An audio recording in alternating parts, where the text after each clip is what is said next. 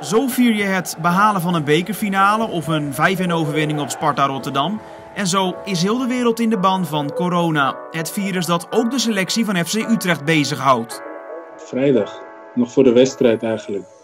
En toen uh, hoorden we opeens dat alle wedstrijden eruit werden gegooid. Dus toen was het al een beetje van uh, hoe nu verder. En op een gegeven moment uh, zit je alweer twee weken thuis. En hoe ziet de week van Adam Maher op dit moment uit? Ja, we hebben een programma gekregen met het team. En meestal beginnen we altijd om tien uur in de ochtend met een sessie. En dan ja, heb je ook nog een, om half drie heb je ook nog een sessie. En dan, zo ziet eigenlijk de dag eruit. Dus eigenlijk gericht op die trainingsdagen. Some team sessions that we are doing. Uh, we're using like uh, Zoom app. I don't know if you know about it. Uh, yeah, I've heard about it. Yeah, spinning program on on that one, and we're doing a workout of the day, which is like a series of exercises you're doing and competing against each other. And, uh, um, en daarin worden ook uh, bijvoorbeeld workouts of the day challenges ingegooid. En die gaan we dan met z'n allen aan. Dus het is wel eigenlijk dagelijks heb je contact met elkaar. And then I go go out and train. And then I train for two hours. And then I cook and I eat. And then I do absolutely nothing. And then I go to bed. You never ever had a rhythm like that. No, but for me, the, for me the rhythm is, is quite fine actually. Uiteindelijk zie je ook dat het ook echt veel beter is dat iedereen gewoon thuis moet zijn. En voor zijn eigen veiligheid ook gewoon lekker zijn eigen dingen moet gaan doen. En liever dat ja, uh, niemand elkaar besmet en alles. Dat is het beste en belangrijkste van allemaal. Ja, het is echt de spinbike en uh, buiten lopen. Wanneer heb je voor het laatst een bal aan je voet gehad? Zo, dat is alweer anderhalf week geleden, denk ik.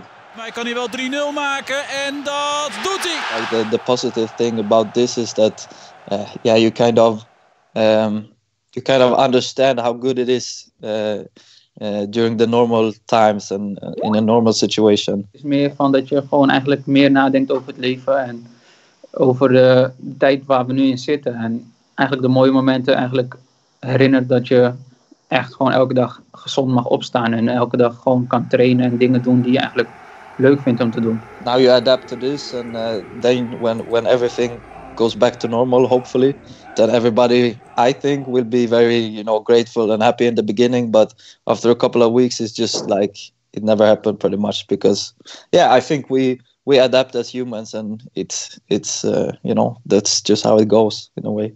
Ja, en heb je tot slot nog een mooie workout tip voor uh, de, de supporters thuis? Workout tips. Uh, dan moet je bij Adam zijn, denk ik gewoon. Toen zei je, Girano, oh, dan moet je Adam vragen. Dus uh, kom erop met die tips. Oh, dan heeft hij, heeft hij dat weer gezegd. Ik zou eigenlijk normaal zeggen Girano, maar... Then you have to be a little bit creative with, uh, you know, doing uh, doing the power training. You use some uh, some water bottles or uh, you know things you have at home. Ja, kijk, ik heb geluk dat ik uh, gewichten thuis heb en alles. Dus dat je daar ook meer kan uh, improviseren. Alleen wat wij nu doen als team is het meer de bodyweight oefeningen. Want eh, ja, dat kan iedereen doen. Dus iedereen heeft zijn eigen lichaamgewicht bij zich. Dus dat, dat gaat wel makkelijker. En ja, lopen. Voor de rest uh, niks speciaals. En we hebben een spinbike thuis gekregen. Dus eigenlijk uh, die twee dingen combineren. Ben je net zo snel uh, op de fiets als op het veld? Nee, ik ben, ik ben aardig slecht op de fiets. Man. I, mean, I watched some of the, some of the games from, from this season already. you know, from just being bored and, and trying to do something. So, I mean, watch the nice games and, uh, and, and enjoy them together with somebody. Kijk, tuurlijk zie je je fotoalbum dat je dingen steeds voorbij komen van uh, de mooie momenten die we hebben gehad als team. En dat we bijvoorbeeld nu ook in de bekerfinale zitten. Dat zijn wel dingen waar je dus aan nadenkt. Maar uiteindelijk denk je meer aan het hele plaatje. En dat is meer het gezondheid van mijn ouders, mezelf en de mensen om me heen. En dat is voor mij het belangrijkste nu. Gustafsson tegenover Onana. En dat is dus Gustafsson, 2-0 Utrecht. How is the situation with your, your family, for example, in Sweden?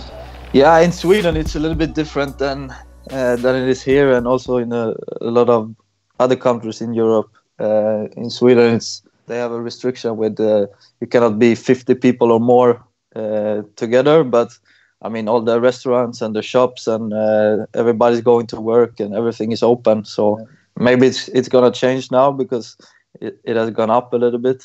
And then I I have my brother also in, in the middle of uh, of Italy in, in that whole crisis. They cannot even go out to um, to train or to run or whatever now. They have to be home. Uh, yeah, well, but everybody's healthy, so uh, um, yeah, I'm happy with that, and I'm I'm glad that everybody's fine for yeah until now at least. Kijk, het is echt heel vervelend om de hele tijd thuis te zitten en de oefeningen te doen en geen doel te hebben om uiteindelijk te weten van wat je precies eigenlijk uh, eind van deze week gaat doen of wat je normaal altijd wel hebt. And if you're seeing just from an individual point, then yeah, we want to play, you know. If playing and starting everything again means that people are more people are getting sick and you know the healthcare cannot take care of it, etc., then of course we don't want that, or I don't want that at least. So uh, it's it's a very hard question, and it's um, it's a fine balance between things. But uh, yeah, I mean, we hope it's. I think everybody hope it's over soon and we can start playing. Ik wil eigenlijk iedereen meegeven om lekker thuis te blijven, gezond te blijven, uh, met de familie. Je mooie momenten blijven meemaken. En hopelijk tot snel en dat we weer mooie momenten samen kunnen meemaken. Ja, ik zou ze adviseren door binnen te blijven en uh, goed op je familie te letten. En dat we zo snel mogelijk weer een normaal leven kunnen oppakken. Take care about yourself and I hope to, to see you soon in the stadium. Yeah, you too, man. See you. Yeah. Ciao, ciao. Ciao.